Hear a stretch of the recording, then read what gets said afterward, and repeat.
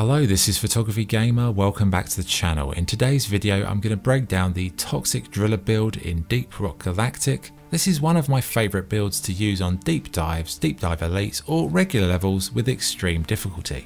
So what is the Toxic Driller build and why is it so effective? Well we've all been on a deep dive, it's going well, then all hell breaks loose and two or three of your teammates drop like flies. It's in that moment you need to adopt a back to the wall strategy, and the driller class mixed with the right weapons can really get you out of a sticky situation. So if you've got a large swarm heading your way and you can't revive your teammates, drill a straight tunnel into the nearest wall. Turn around and shoot out as much corrosive sludge as you can to cover the walls of the tunnel. Basically it means every alien heading your way will arrive at you either dead or on the brink, which will give you the time you need to throw grenades or shoot them down. But it can also backfire if you don't act fast, as the tunnel with one exit and lots of aliens blocking it can be a death trap. However, if done correctly, it creates a deadly killing zone that can give you the time you need to recover and save the team from a mission fail. Okay, so let's break down each element of the loadout, the gear mods and perks to maximise the effectiveness of this loadout.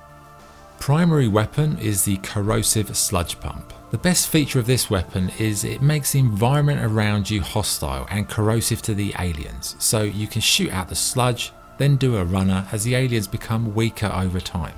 So firstly, let's look at the overclock. For this build I would go for a volatile overclock which means it has good and bad points.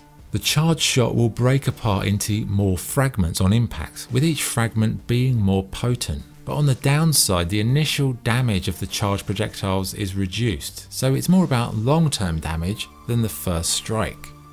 Okay, let's break down the gear mods. Gear mod 1 uses an air sensitive compound that means when the goo is exposed to air, it expands. This makes the puddles cover a larger area on impact, which means more toxic material for the aliens to wade through. Gear mod 2 uses an atomizer nozzle. This will make your charged shots leave behind more fragments on impact. Gear Mod 3 uses supersaturation which processes the goo after impact making the effects of the puddles last longer. Fourth mod is spillback extension which results in less goo being spent when charging. And Gear Mod 5 it uses this acid effect which makes the goo use more aggressive, meaning more damage per second when the aliens are caught in the goo. So in summary, these mods ensure the goo covers a large area with more fragments per charge shot and an increased duration of the puddles. It also reduces the amount of goo spent on charging and damages enemies covered in goo at a faster rate. Okay, secondary weapon of choice was the experimental plasma charger. So gear mod 1 for this one, we're going to use the higher charged plasma energy mod. This increases both direct and area damage of charged projectiles, which is great when you've got lots of bugs stuck in a goo tunnel and you want to finish them off. Gear Mod 2 is an overcharged plasma accelerator. This increases the velocity of the projectiles, the normal ones allowing for quicker attacks, which is great when you're under pressure. Gear Mod 3 uses a tweaked radiator. This helps the weapon shed heat, letting you shoot more rounds before overheating occurs. Gear Mod 4 is a high density battery and basically this adds more ammunition. The fifth mod is Flying Nightmare. This makes charged projectiles pass through enemies dealing damage in a wide sphere, but it doesn't explode on impact. So again, this is great if you've got a tunnel with bugs in it and it will go through all of them. Right, next, projectile weapons are very useful. So what are we going to use? We're going to use the HE grenades. The high explosive grenade, it has a medium kill radius and it can be used to remove dirt or bugs or both. You get six in total and they're great for those toxic tunnels for maximum damage. Right, what about tools? Okay, let's look at the tools. In terms of the pickaxe, the first gear mod utilises the power attack. That's one we'll go for. Great for dealing damage to threats in the tunnels. The second gear mod uses a shockwave, which increases the power attack area. So again, it will hit more of those ones in the tunnel. Satchel charges, they're a key item when dealing large volumes of enemies and the first gear mod is the fragmentary shell which creates a larger damage radius. This is good if you're getting swamped in a tunnel and you need a bit of space to create a circular death room. The second gear mod uses a kill switch. This allows you to disarm unused charges which can be helpful because you know you don't necessarily always want to blow them up in the tunnel. Sometimes I put a charge in a tunnel as like a last resort effect. So if it's all getting a bit dodgy, blow up the satchel charge and then drill away to give yourself some space. But if you don't, you can always pick it up with this mod. Third mod, extra satchel charge, lets you carry one more. Fourth mod, rock mover, which means it will be a larger area upon detonation. And that's about it. So right, what's next? Reinforced power drills. Now the drills very useful for carving a path through the game world. And in terms of mods, what do I use? Well, the first mod, expanded fuel tanks. These allow you to carry more fuel. I always like this perk as when, you know, the drop pod arrives at the end of the mission, drilling your way to the exit is probably the safest route for all the team members, in particular with deep dives because it's very hairy on the way out. So I would always go for that mod. Gear mod 2, uses streamlined integrity checks. This allows you to drill sooner after the overheat. Third mod, supercharged motor. You can drill faster.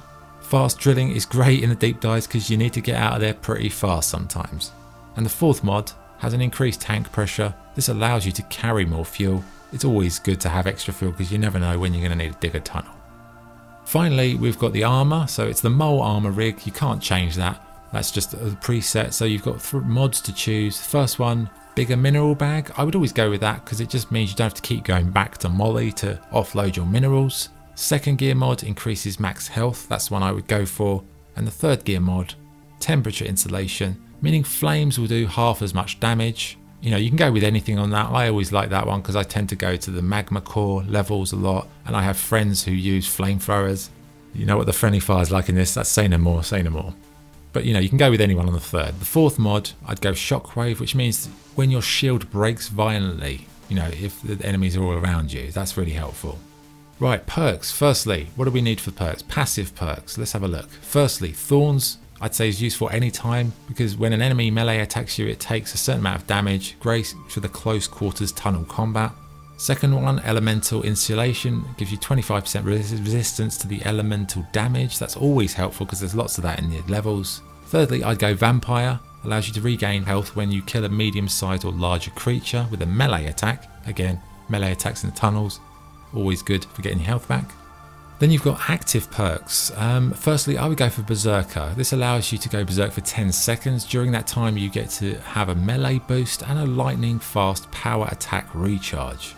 That's very helpful in the pressure situations of the tunnels. Secondly is dash, providing a burst of speed allowing you to get out of a tricky situation and ignore slowdown effects. Right, so that's all the settings, so we're pretty much done. Lastly, I'll just break down the apparel, the clothing setup that we have for this character. I mean, you've got lots of options, you don't have to have it like this, but the one I've been using in this video, I'll put a screenshot on the screen now so you can just uh, capture it Okay, there you go. That was all the settings for it. So if you want the character to look like that one, that's how you do it. But you know, there's lots of possibilities you can go for.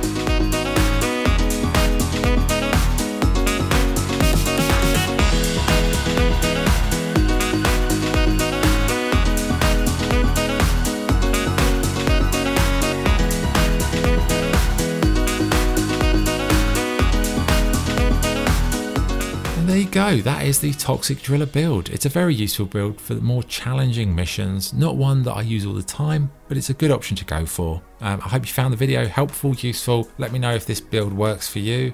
Drop your thoughts in the comments. If you'd like to watch my other videos on Deep Rock, I'll put links in the description. But for now, thank you for watching. I appreciate it. This is Photography Gamer signing off. Thank you.